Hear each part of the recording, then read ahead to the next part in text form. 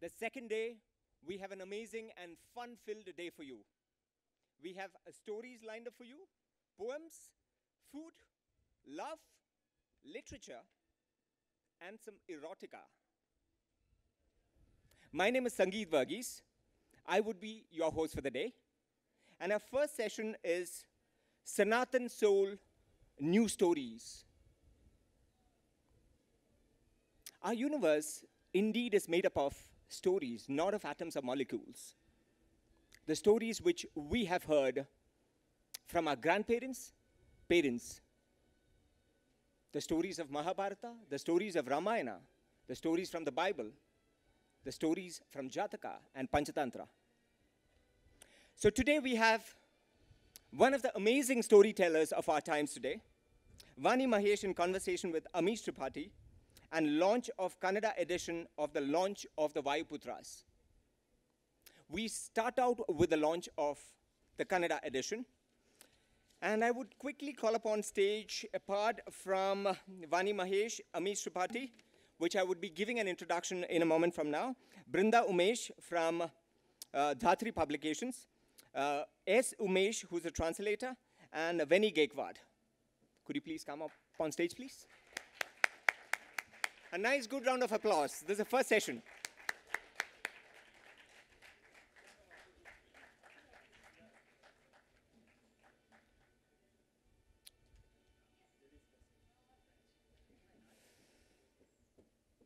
Welcome. Thank you. Welcome. Welcome. Welcome. Welcome.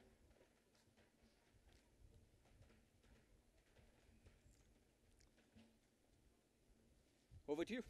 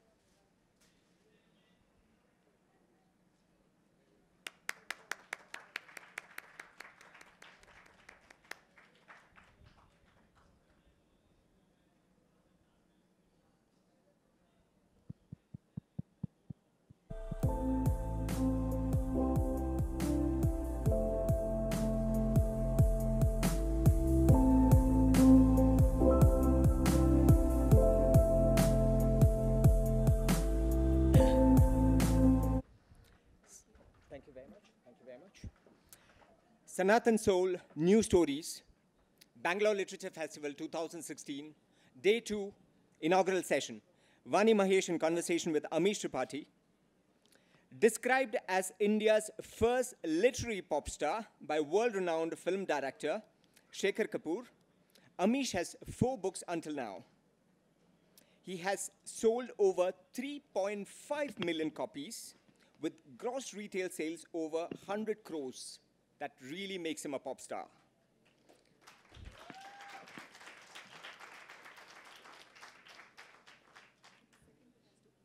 We all become pop star with the money, right? The Shiva trilogy is the fastest selling book series in Indian history. Forbes magazine listed Amish amongst the 100 most influential celebrities in India four years in a row. He was Man of the Year by Radio City, GQ 50 Most Influential Young Indian, and selected as the Eisenhower Fellow. Our moderator for the day is Vani Mahesh, is a consultant scriptwriter with Amar Chitrakatha. Her books include Tales of Creation, stories from Brahma Purana, A Kingdom for His Love, and Saptarshi, the, se- the seven supreme sage- sages. Over to you, Jack.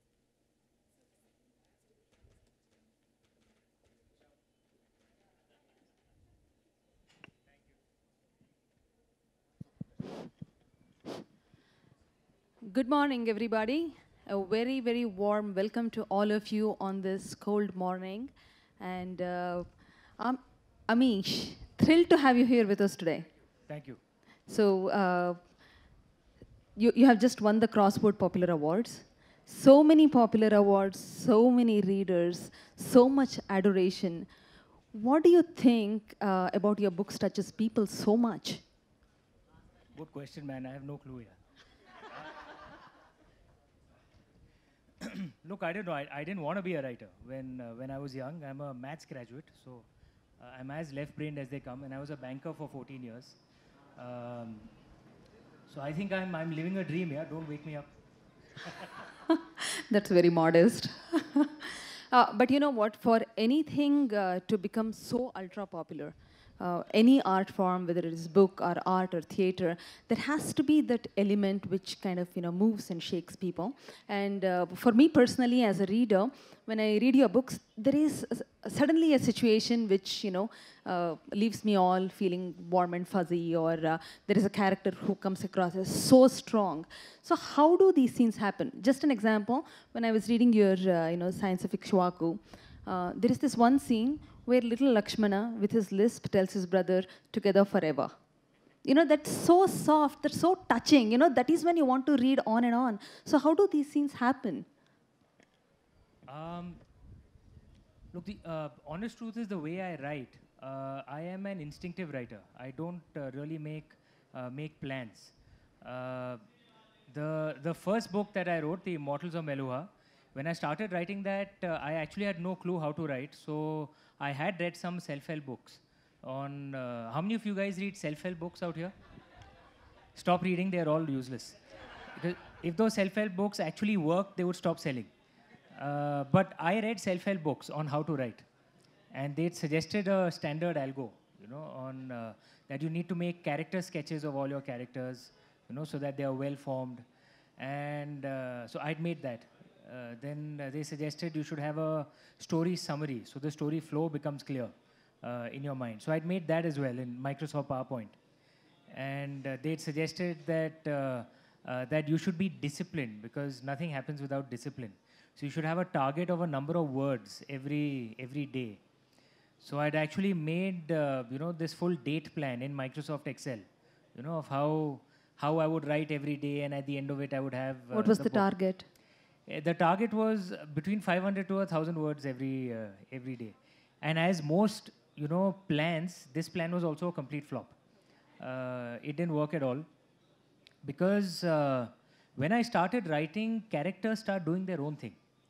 Uh, started doing their own thing, and uh, uh, all the character sketches that I wrote for Sh- Shiva trilogy and the first book, The Immortals of Meluha, the only character who actually followed his character sketch was Lord Shiva, perhaps out of pity on me.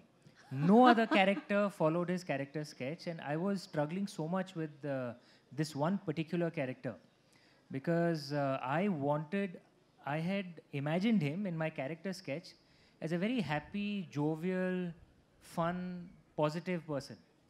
But the way he was emerging in the book, he was emerging as this very tormented, sad, depressed soul, a very good person at heart, but troubled, you know, and depressed. And I was really struggling with that character, and I was uh, trying very hard to change that character's life. And whatever I did came across as a force fit. Uh, and then finally, uh, my wife helped me out. Uh, she said that you can't write a book with your typical MBA type uh, attitude. And she said that uh, you must uh, uh, kind of just surrender to the flow and uh, let the story just flow uh, naturally. She told me that you're not creating the characters. The characters already live in a parallel universe, which she, she'd read this somewhere. They'll already live in a parallel universe, and you've been given the privilege of entering that universe and recording what you see. So that's how I write. And she told me this line, which I think I've quoted a million times that don't write with the arrogance of a creator, write instead with the humility of a witness.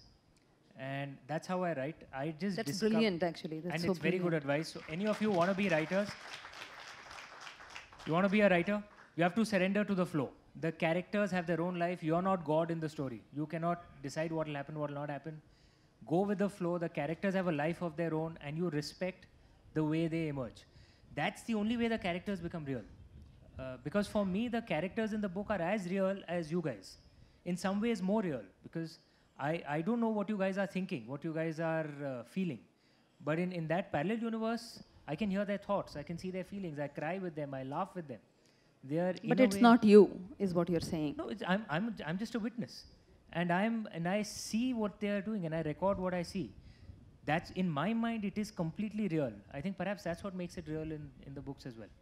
Yeah, probably that is when these really touchy, uh, emotional uh, because powerhouse they, scenes they're real across. characters. They're real characters. See, and there is a scene in um, you know the Immortals of Meluha where uh, Shiva tells uh, Daksha and his ilk never to lie to him. You know, there is this paragraph where he says, "I'll do whatever it takes to save your kingdom, but never lie to me." It was so powerful. You know, I wouldn't mess with Shiva after that. You know, You should mess with Lord Shiva before that either. definitely, but that certainly not after that. Uh, so, but is that your? Do you think a lot of your personal beliefs and you know what you are and what you stand for as a person uh, comes across in bits and pieces across characters? Look, I'm, I'm a proud Indian and I'm a follower of, of uh, you know, Indian culture. Uh, and in the Indian way, morals or even truths or, or lies have, uh, there's a context uh, in it. And what we are expected to do is uh, use our own mind to make up our decisions. Uh, so, of course, it's of course one can certainly say that you should not lie. You should speak the truth, and that's a good value to follow. But uh, say you're put in a situation where your lying saves the life of someone else, uh, would you then lie? Is it dha- is it dharma to lie then? Uh, uh, you don't know, right? The answer is complex. And you have a debate on that Correct. in uh, Science So- Fiction. the the way our culture is, the way our scriptures and our gods speak to us, they treat us like adults, not like children. That you'll do this, this, this, otherwise you'll go to hell. That's a, that's approaching a person like a child. You know, they treat us like adults, where these are the choices, these are the thoughts, these are this is the kind of life that we as gods led. That's what our gods tell us. Now you learn from our stories and do what you think is right. Uh, I think that's the way to Learn approach from our stories is the key, probably. and do what you think is right. You know, in the Bhagavad Gita, in the 18th chapter, Lord Krishna says something very beautiful to Arjun. It's an allegory, right? He's speaking to us through Arjun. We represent Arjun. He tells Arjun at the end, 18th chapter, the last chapter, he says, I've given you knowledge most profound. Now, your task is to think about it and do what you think is right. Uh, and that's what Lord Krishna is telling us. I mean, essentially, we are adults. We have to make our choices and live with the consequences, positive or negative. That's so you decide what is, uh, what is right or wrong. Technical रुकावट के लिए खेद है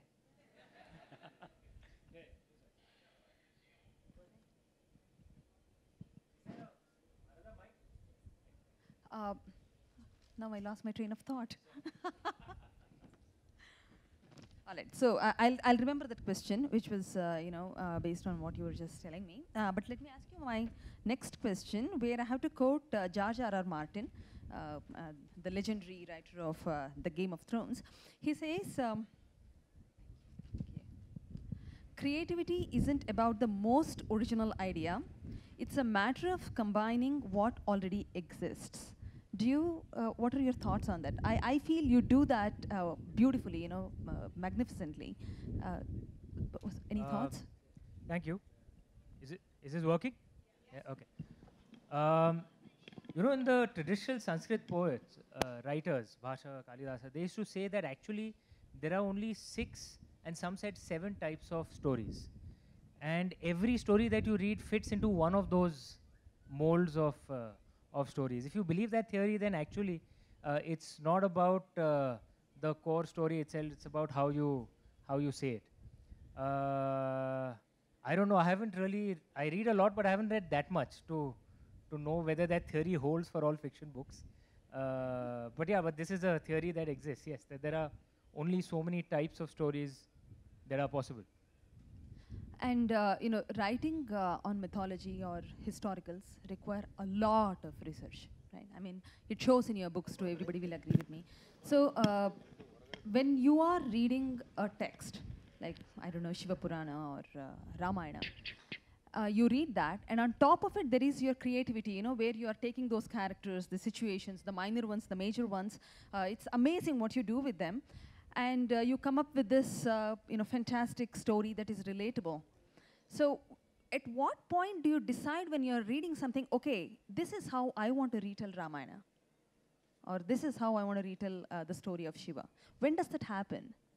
No, but but I don't decide. Uh, I just let the story flow. Lord Shiva decides. Uh, that's that's the way I see it. Yeah, My I- task agree. is to gather as much research as I can. So I read a lot. Uh, I read at minimum at least five books every month, and I've been reading at that pace for decades. I must have started reading when I was five or six years old. In my family, everyone reads a lot. Uh, all of us debate a lot. We're a typical Indian, you know, Gyan Yogi debating kind of kind of family. Uh, and both my parents are deeply religious. My grandfather was a pandit in Kashi, in Banaras. So I learned a lot of our uh, scriptures and our mythology uh, from them. And I read a lot as well. So the way I see it, reading and meeting people and traveling, all this is research. All of this, the knowledge goes in the back of the mind. How that emerges into story is Lord Shiva's job. Uh, so it's a bit like if you want to create, if you want to cook paneer mughlai, you cannot cook paneer mughlai if you don't have paneer at home, you know, or some, I don't know the recipe well, but I'm assuming you need some onions and tomato and various other things, correct? Salt, you need salt, right? Yeah, okay. So if you don't have the ingredients, then you cannot create, you cannot cook paneer mughlai. Uh, but just because you have the ingredients does not mean that you'll be able to cook a good paneer mughlai, right? You might cook an absolute disaster. Uh, so uh, the way I see it, research is buying all the ingredients. All the reading that I do, uh, the people who I meet, I, I think something can be learned from everyone who you meet. I do a lot of traveling. I love traveling. So, uh, you know, for example, the description of the gates of Branga in Secret of the Nagas was inspired by something that I learned on a trip to Greece 12 years ago. Uh, something that I saw uh, that was apparently done in the Corinthian Sea uh, 2,000, 2,500 years ago. So, all that research goes somewhere in the back of the mind, and then Lord Shiva converts it into a story. Wow.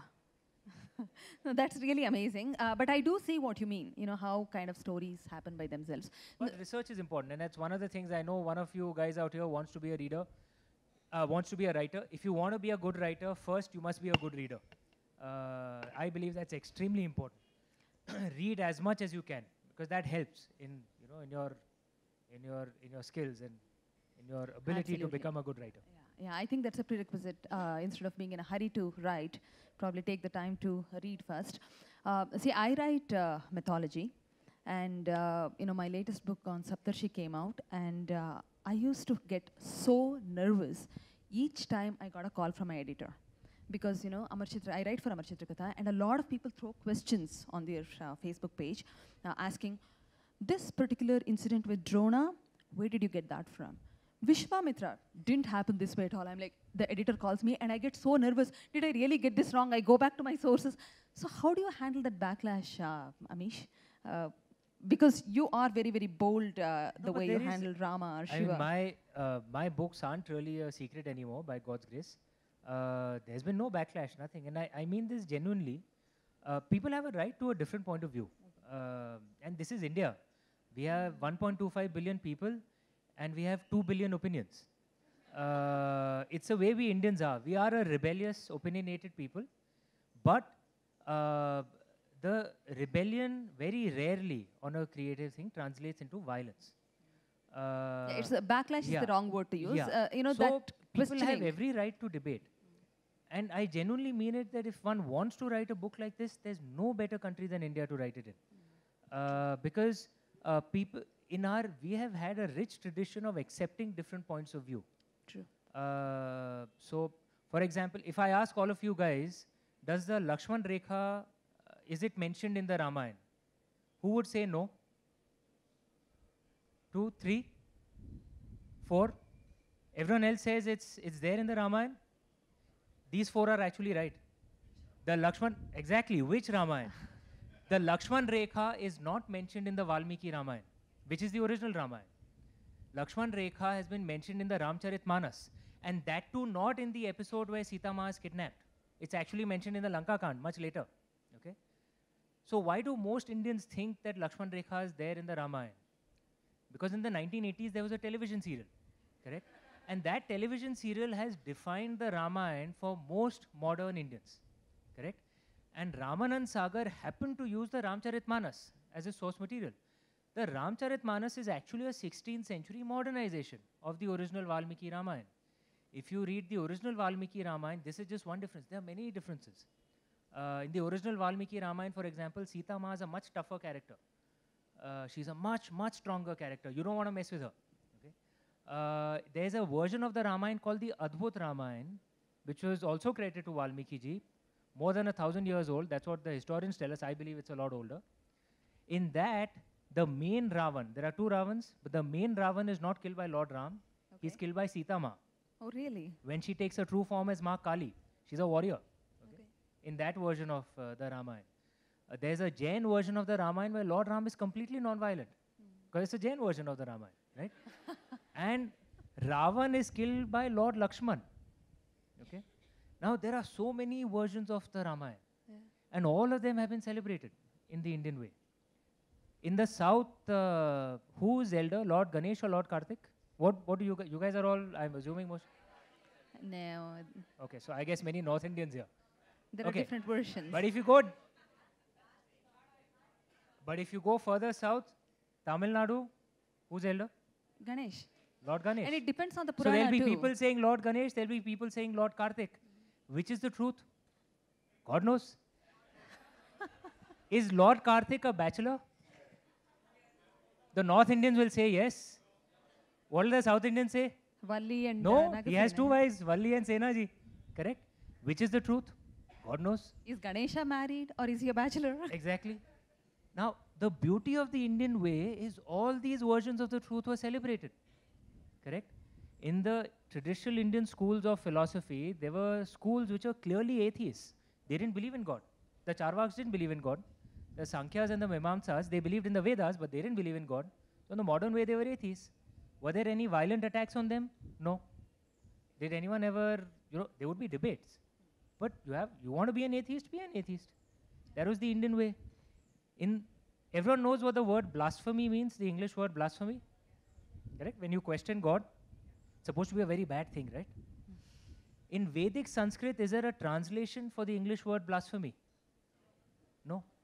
The concept didn't exist, so the word didn't exist. Everyone could be questioned, including God. That was the Indian way, which meant that in the Indian way, liberalism and religiosity actually went hand in hand. You were you had absolute freedom to discover your path to the truth. And if you're doing it with respect, why will anyone get upset? And I know this sounds theoretical, but the proof of the pudding is in my in, in the eating. Yeah, my books have not attracted any controversy. That's Uh, wonderful, actually. Yeah. And which is, trust me, it is the Indian way. That if someone realizes that you have written a different point of view, but you've written it with respect, there will not be any controversy. That is the Indian way. Uh, I think it's the honesty in uh, the writing and what you're trying to get at. Also, frankly, look, 95%, are there any media guys here? okay. Okay. Sorry. But 95% of the controversies, let's be honest, are created by artists themselves with the help of their friends in the media. Uh, you know, for you get some publicity. publicity and your sales go up for that period. We all know what happens. And two weeks later, we move to the next controversy. Okay, so if you yourself avoid controversy, it does not happen. True. And uh, Amish uh, wants to uh, spend a lot of time with you people uh, in the Q&A.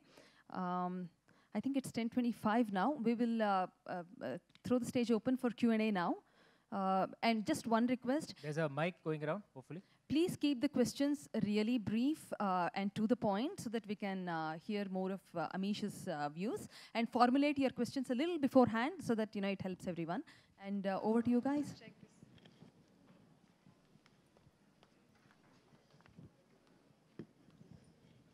Uh, thanks, Amish. We've been great fans of Thank you. The, the audience, Thank you. the size tells you that. Uh, Uh, the one question that I had, which I, I wonderfully fell in love with, and I believe that what you said a little bit, uh, little while earlier, was referring to this particular character, was Lord Ganesh's representation in the in the in the book. So, uh, how did you uh, form that? Because that was so unique. Uh, because we always had this character of Gane- Ganesha in, uh, in mind, right? Uh, uh, uh, how he got formed and how he came to life, and how he's actually trying to save Sati, or take away Sati and he's a villain, and then you it turns out to be villain. So how did you form this totally paradigm shift in the character of Ganesha, Lord Ganesha, in your book? So I want to go through that process. I know you would have gone through a lot of hardship to make Ganesha a villain earlier and then convert him into this. No, he was never a villain. He was just misunderstood. As I think the way, and he just emerged that way. And perhaps one of the defining things of uh, of Lord Ganesh in my mind, all of us have defining moments, defining characteristics. And for Lord Ganesh, even in his traditional way, was his defining moment was his obsession with his mother. Uh, and many Indian men recognize that also. Uh, you know, so uh, this protectiveness, this absolute sense of complete duty to the mother, that whatever she'll do, and this obsession to get uh, the mother's love and approval. Uh, you know, that uh, perhaps that that drove the character. Uh, that's how I saw him, and that became the defining part of, you know, of of his of his life.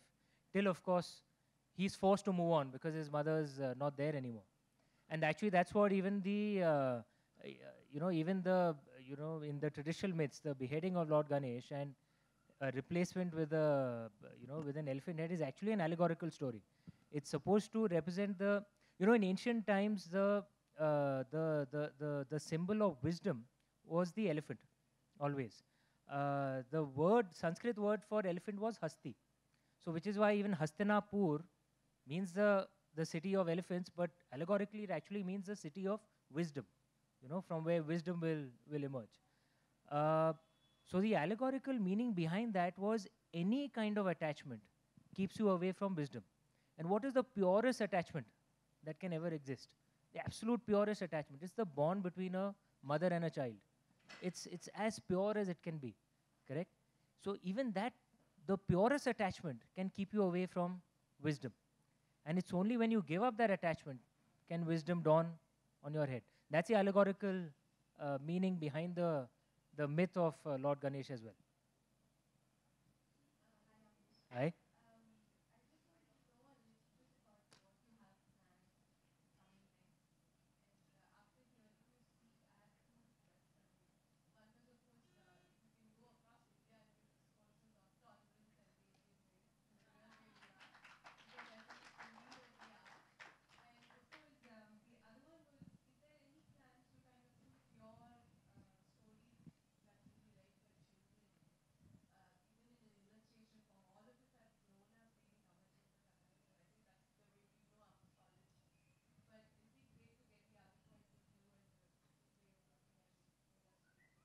And there's, uh, that's a good idea. I uh, myself have stayed away from uh, from illustrations as uh, far as possible because I, through my books, I wanted to cue reality. Uh, so which is why. But I think perhaps the time has come, and I'll discuss it with my publishers. We'll we'll we'll look at illustrated books for uh, children. Having said that, there are many many of my uh, readers are actually younger people. I've been at events where there are 11, 12 year olds uh, reading my books. Actually, they're There are very some- clean. Yeah, there are some younger than 10 as well, but I always suggest to parents uh, my book has some violence. So uh, I don't have any sex in my books, but there is some violence. So at least I wouldn't recommend children under than 10, re- 10 11 reading my books, but it's up to a parent. It's up to what they want to do. But yes, we will come out with uh, illustrated uh, books as well. It's a good idea. Uh, as far as my plans uh, are concerned, I've left, I have a full 20 25 year plan of books. Uh, and I've left clues for all the books that I will write over the next 20 25 years in the Shiva trilogy. So, uh, those of you who've read uh, The Scion of Ikshvaku, uh, I'm assuming how many have not read The Scion of Ikshvaku? Shame on you guys. here. Okay, they are available. They are available here also. And you can Uh, get them signed too. Correct. Those who've read the Scion of Ikshvaku, you'll realize actually that I've left clues in the Shiva trilogy, which connect to uh, to the Scion of Ikshvaku and to the Ramchandra series. The Ramchandra series will have five books, so I'll probably finish it maybe seven years or something. After that, you might get you might I might release my version of the Mahabharata. When I release that, you can come back to the Shiva trilogy. I've left clues out there. Uh, 11, 12 years later, I might release my version of Lord Parshuram story. When I release that, come back to the Shiva trilogy, I've left clues out there. 14, 15 years later, I might write my version of, say, Lord Rudra and Lady Mohini story. When I release that, come back to the Shiva trilogy, I've left clues out there. 18, 19 years later, Lord Brahma story. 22, 23 years later, Lord Manu story. There are stories from other parts of the world as well, which are related to us. The story of Akhenaten, that may come 23, 24 years later. Uh, the story of uh, Argon, that may come, I don't know, 25, 26 years later. When I release that, come back to the Shiva trilogy. I've left, I've left clues out there. All my books, all my books are linked uh, through, uh, you know, it's it's my imagination of the story of uh, the story of this great race called the Vedic people of our age. From the creation of their culture more than 12,000 years ago to the destruction of their culture with the war that we call the War of the Mahabharat, three and a half thousand years ago. And I believe all of us, all of us in the Indian subcontinent, are their unworthy and lost descendants. So my books tell the high points and the low points of this race of people over a 9,000 year uh, period. That's how they're all linked to each other. Real long-term deposits, recurring deposits. See, but the, the point is you guys have to keep buying the books. Otherwise, I'll have to go back to banking. Hi, how are you? Sorry, just uh, before your question, can we give the backbenchers a chance also? I was a backbencher in school and college, so I always have sympathy for them. But after his question.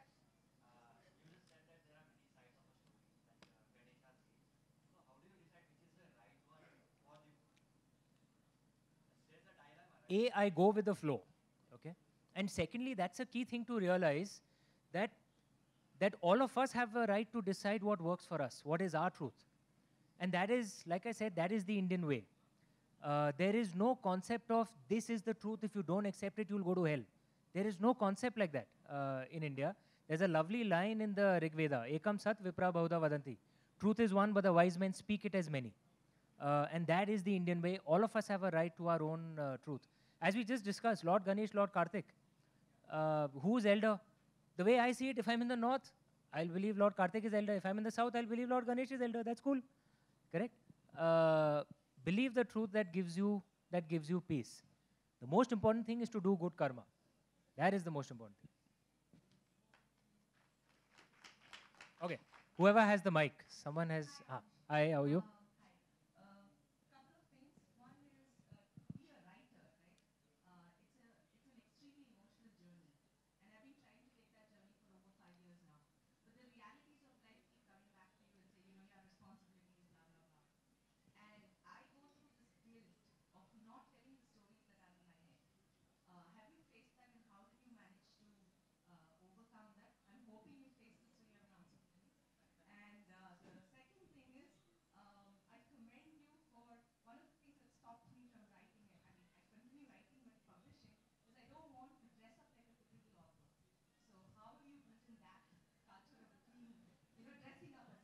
Okay, what is the typical dress of an author? Yeah.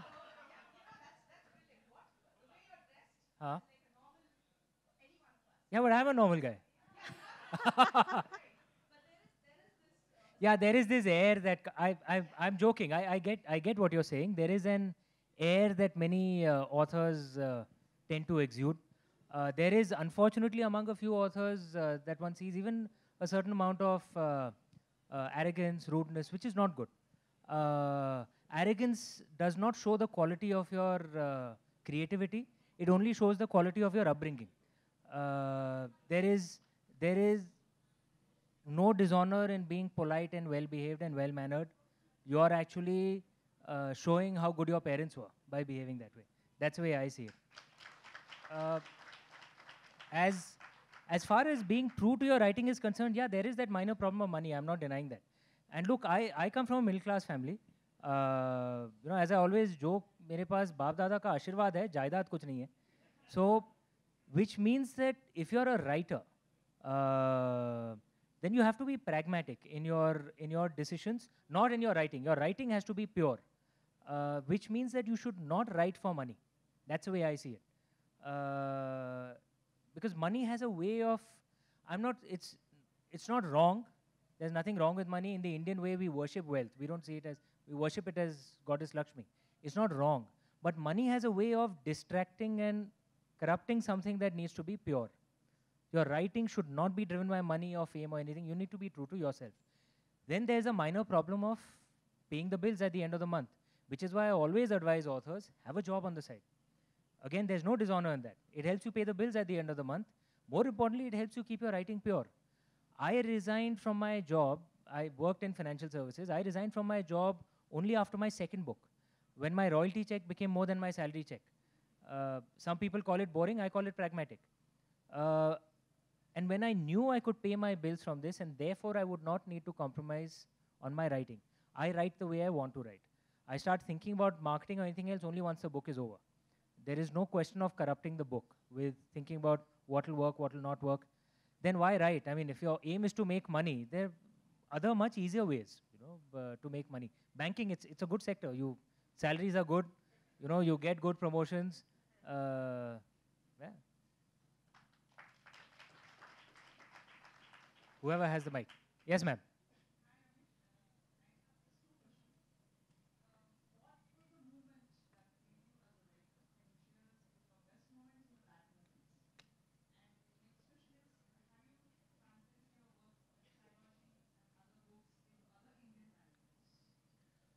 Um, the best part about being an author is, uh, you know, I, I, I, I love reading.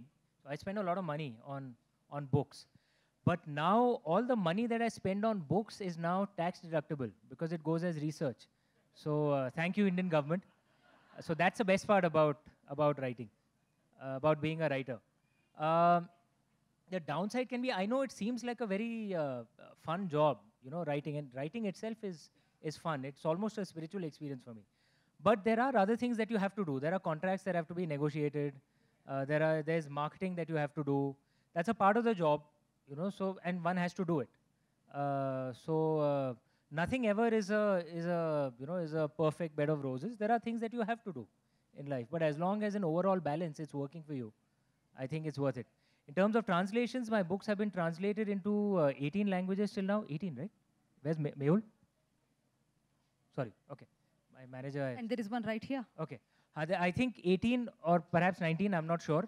And Indian has been translated into 11 languages uh, Hindi, Marathi, uh, Gujarati, Kannada, uh, uh, Telugu, Tamil, Malayalam, Bengali, and Odia. So, uh, and by God's grace, it's, it's done well in the Indian languages as well.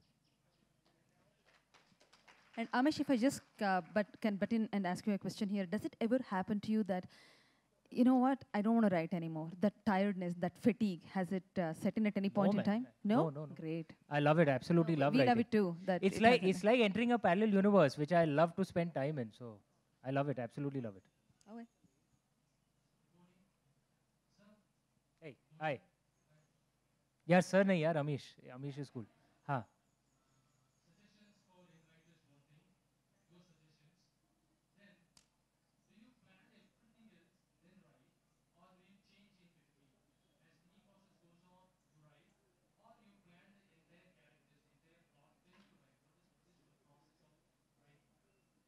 Look, I discover the books while writing as much as a reader discovers the book while reading.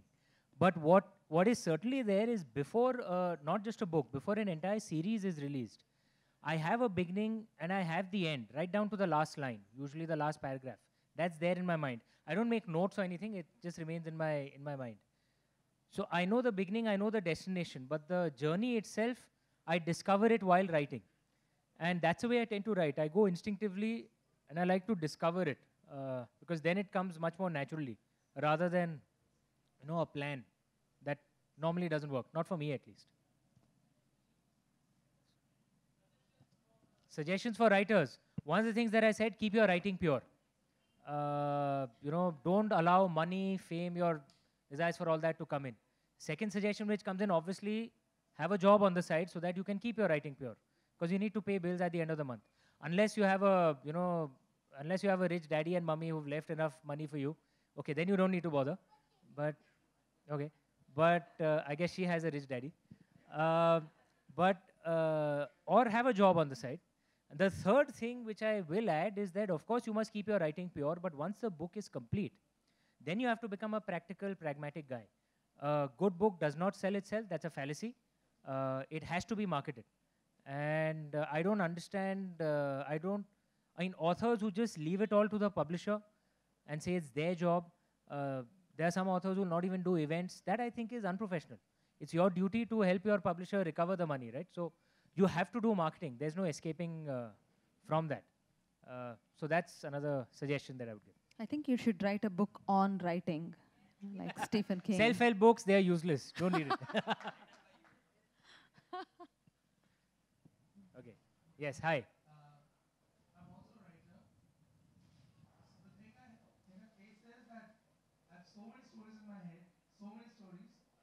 enough time to write. As in, I have time to write, but I write as much as I can. But then many, many awesome stories are left out. So how to deal with that? I'm sure that you like every every writer faces that. See, with stories, it's a bit like falling in love. Yeah, you know, you may, you may, and you may go to college and working. Hello. Hello. Yeah, and you may go to uh, college and you you might find uh, many girls who you find attractive, but there's one girl who just captures your heart and you will follow her. In my case, I met the first girl. You know, I met her on the line for the ID cards when I was 15 years old. I've been with her ever since. Uh, 27 years later. Yeah, that's a cue for the girls to go. Oh, yeah. So the stories is also it's also that way. I- only your heart can tell you which one truly, truly grabs you. Okay, no one else can advise you on that.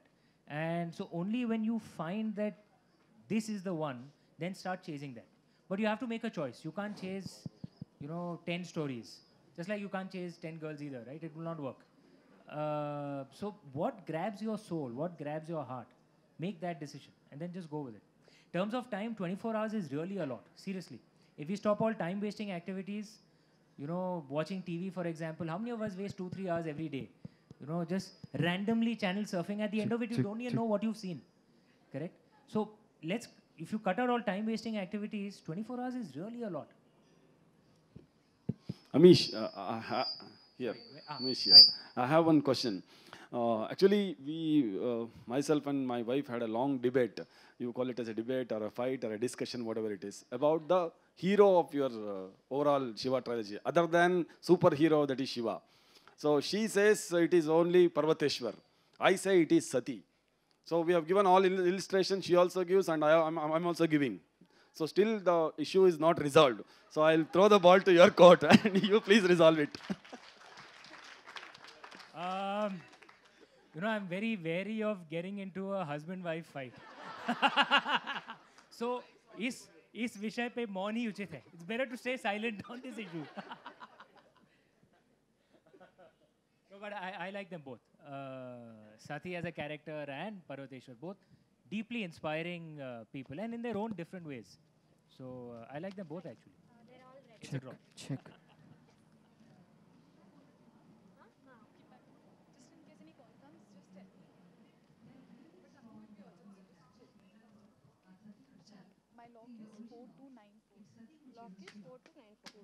In your uh, version of it, Shiva, who is Shall I get them at actually, 10:55? uh, pursuing Sati. So is it uh, how you feel about, uh, you know, I mean, how, how do you bring out those strong uh, feminine characters? Okay. Uh, firstly, uh, regardless of who does the chasing, they are both equal. Uh, I think that that should be. Uh, The original yeah, yeah, of course. That's yeah, that's. But there is a difference. But I, I just want to state that point. and as far as uh, women being equal uh, are concerned, I, uh, you know, if we actually read our go further back, and there are patriarchal interpretations of our scriptures as well, especially those written in the last few centuries. But if you go really far back, most of our scriptures actually treated both men and women as equal. Uh, which is our oldest scripture?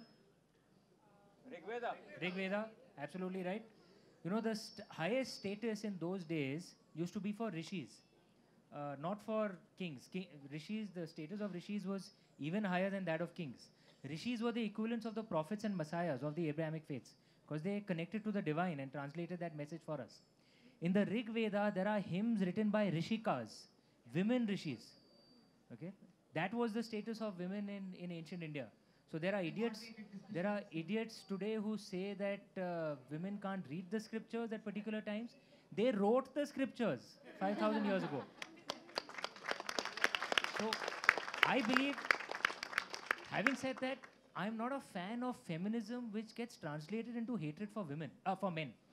Sorry, ha- hatred for men. That's not, that's like reverse sexism is also sexism. Reverse racism is also racism.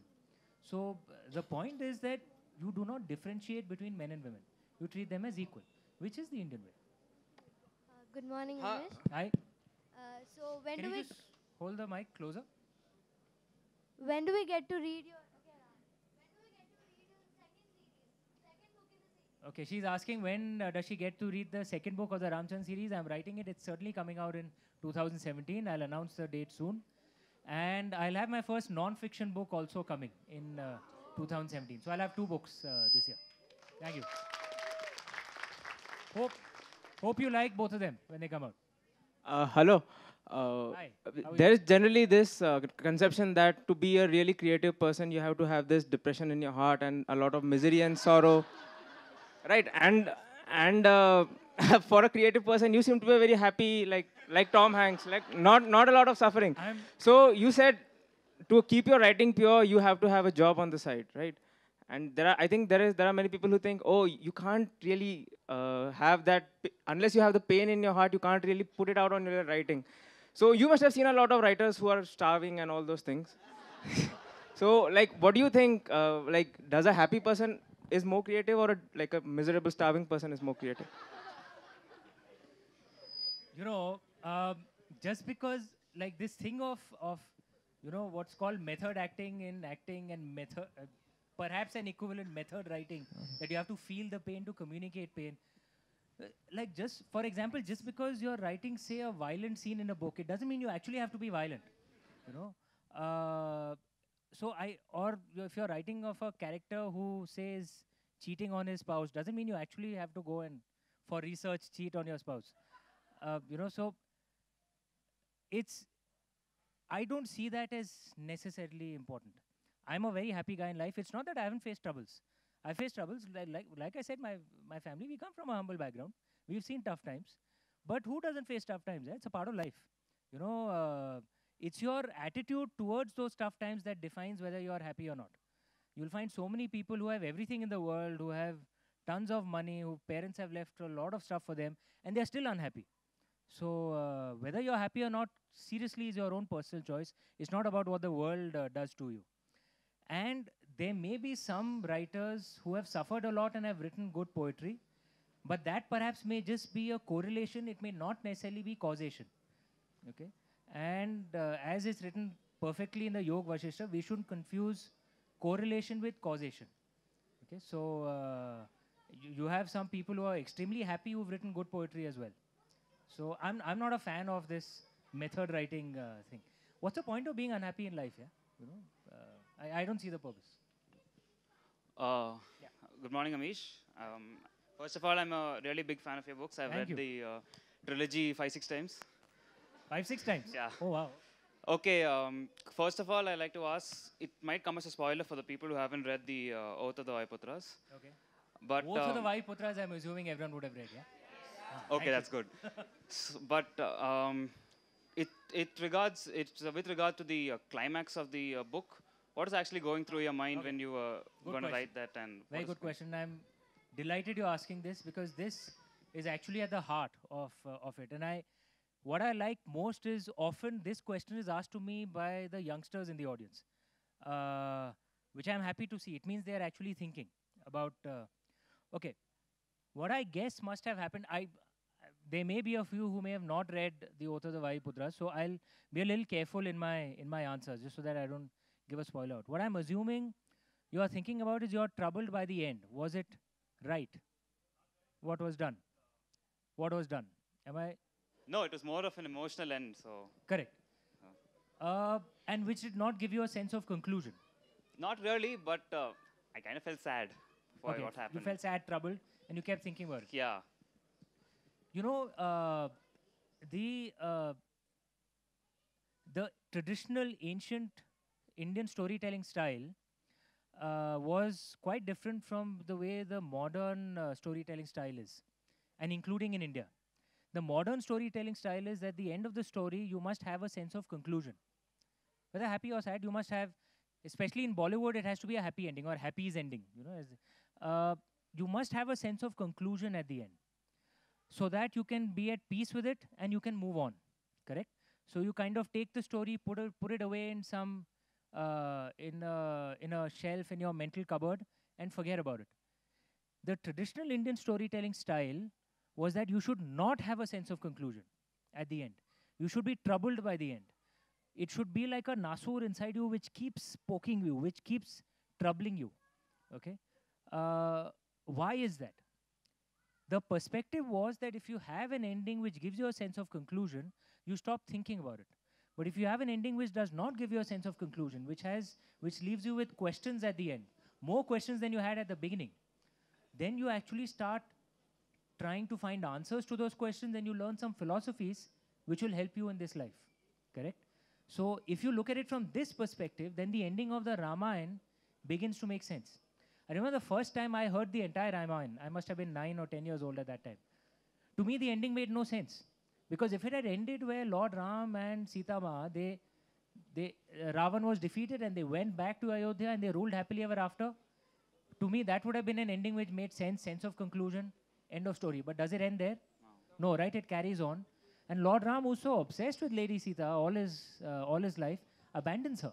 When she's pregnant, it, makes, it made no sense to me as a, as a kid. Think about the Mahabharata. If the Mahabharata had ended where the Pandavas won the war and ruled happily ever after, it would have left you with a sense of conclusion, right? But does the Mahabharata end there? No, right? It carries on. And at the end of the Mahabharata, the Pandavas and Draupadi uh, climb the mountains to go to Devalok. There's no permanent heaven or heaven or hell in the Indian way. It's like it's a temporary thing where you where you kind of maybe fruits or problems of your karma and then you come back into the earth, right? So they go up to Devalok, one by one, all the Pandavas fall down. Who's the one who actually enters Devalok?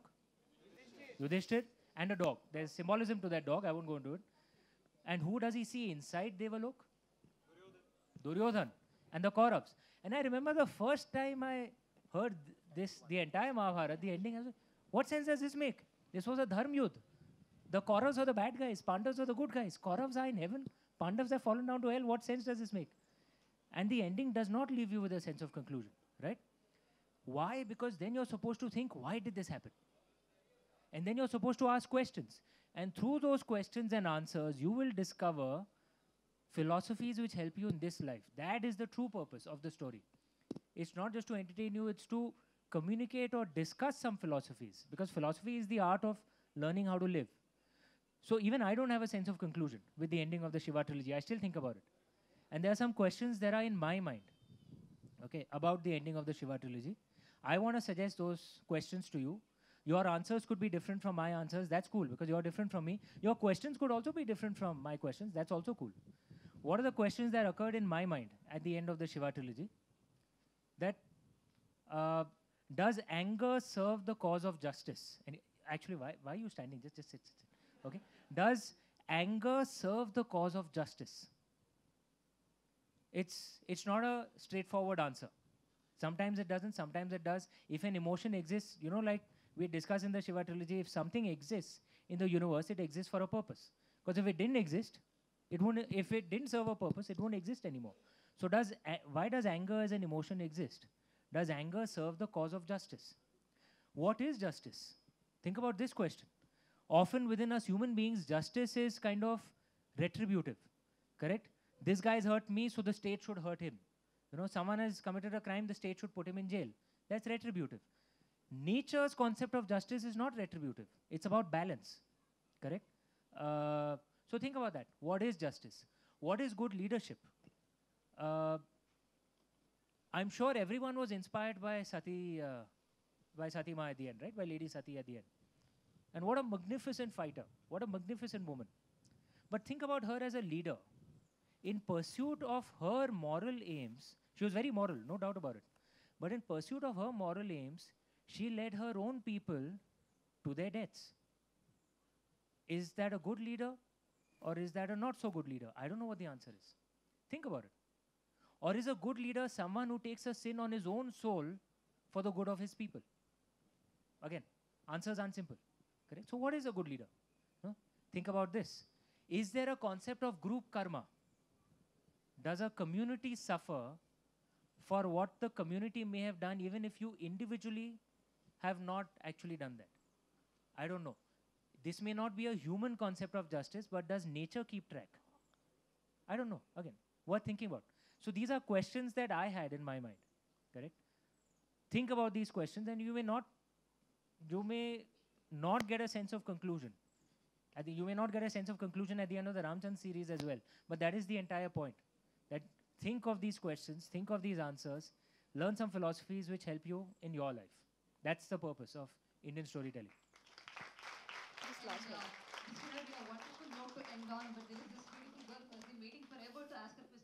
You have just one minute. Yeah, I'll make it really quick, Kamish. Uh, uh, there, you make a lot of authors uh, very, very envious and uh, insecure. You know, a lot of them are Sorry. bitterly resentful of your success. Um, I speak on their behalf, and I want to ask you: Do you check out the competition? Is there any author in the mythology genre who makes you feel a tad insecure?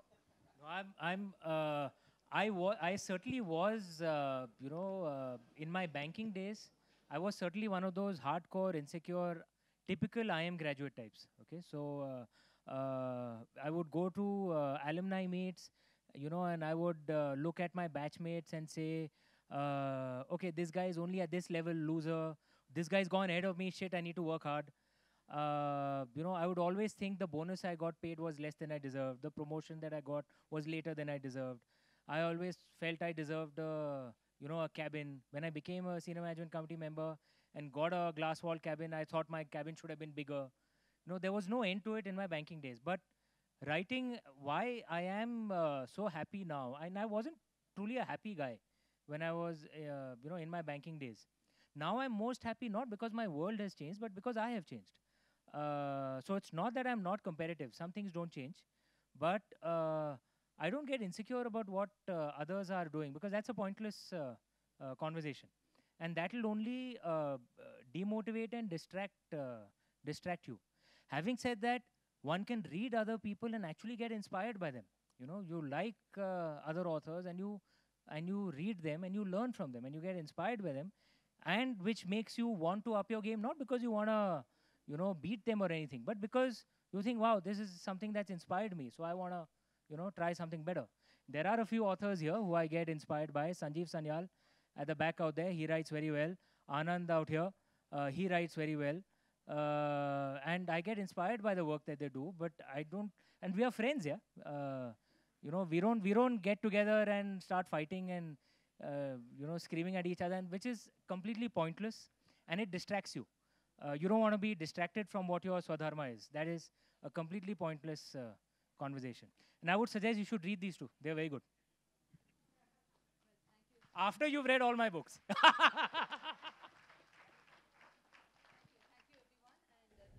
Thank you. Just hold on for a moment. We have a quick book launch, uh, the Kannada translation of uh, Scion of Ikshvaku. I would invite Veni Gekwad from Sapna also What do you know? stage. Two. Kannada launches.